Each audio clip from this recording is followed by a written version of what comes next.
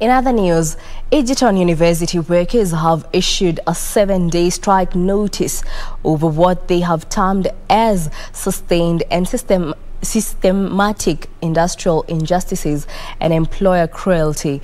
The workers on Thursday temporarily withdrew their services as they marched through the institution under the leadership of their various labor union officials. The workers are drawn from the Kenya Union of Domestic, Hotels, Educational Institutions, Hospital and Allied Workers KUDHEHA, Kenya University Staff Union KUSU, and University Academic Staff Union UASU.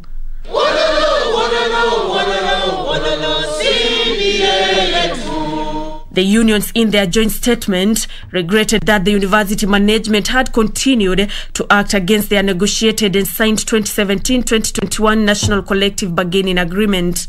Woke up to the tragic news that their employer, Egerton University, had yet again disregard, disregarded the return to work formula and even went further to outrageously slash their hard-earned salaries and benefits without any remorse. The workers further decried that the university had failed to remit statutory deductions to the respective agencies despite slashing them from their pay.